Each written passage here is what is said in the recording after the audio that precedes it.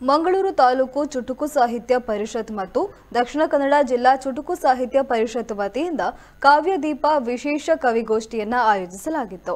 ಕಾರ್ಯಕ್ರಮವನ್ನ ಕಲ್ಲಚು ಪ್ರಕಾಶನದ ಮಹೇಶ್ ಆರ್ ನಾಯಕ್ ಅವರು ದೀಪ ಬೆಳಗಿಸುವ ಮೂಲಕ ಉದ್ಘಾಟಿಸಿದ್ದು, ಅಧ್ಯಕ್ಷತೆಯನ್ನ ಹರೀಶ ಸುಲಾಯ ಒಡ್ಡಂಬೇಟು ವಹಿಸಿದ್ರು.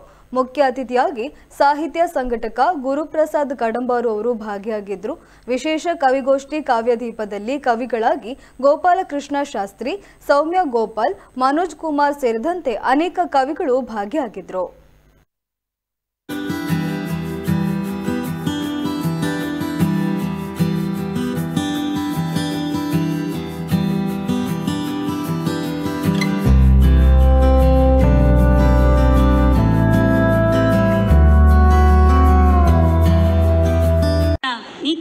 ಉಸಿರು ಆಡುವೆನು, ಪಾಡುವೆನು, ಕಲಿಯುವೆನು, ಕಲಿಸುವೆನು, ಮಲಯಾಳ ಜನರಿಗೂ ಹೊನ್ನುಡಿಯನು.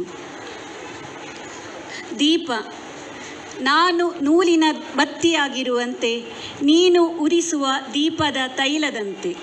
ನಿನ್ನಲ್ಲೇ ಮುಳುಗಿ ಜಗವ ಬೆಳಗುವ ಚಿಂತೆ, ಪ್ರಜ್ವಲಿಸಿ ಬೆಳಗಿದರೆ ನಿನ್ನೊಡನೆ ಬೆರೆತಂತೆ.